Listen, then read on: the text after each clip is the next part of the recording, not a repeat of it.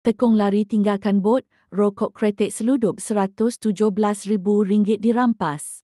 Pengarah Maritim Zon Batu Pahat, Muhammad Hanif Muhammad Yunus berkata rampasan rokok berjumlah RM117,920 itu dibuat pada jam 4.30 minit pagi di kedudukan 0.35 Batu Nautika Parit Salam dekat sini. Semalam, beliau berkata rampasan dilakukan ketika bot ronda maritim Malaysia menjalankan ops jaksa dan ops tiris sebelum mengesan sebuah bot pancung tanpa nombor pendaftaran berada dalam keadaan mencurigakan.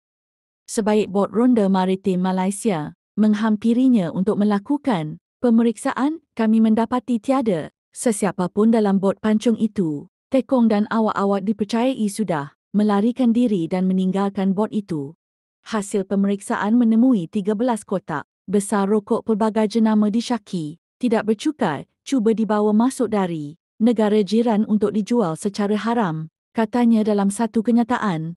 Katanya lagi, bot jenis fiber itu berserta sebuah enjin jenama Yamaha 40 kuasa, kuda dan 13 kotak rokok dirampas dan ditunda ke zon maritim Batu Pahat keseluruhan nilai rampasan dianggarkan lebih kurang RM117,920.00 kes akan disiasat di bawah Akta Kastam 1967.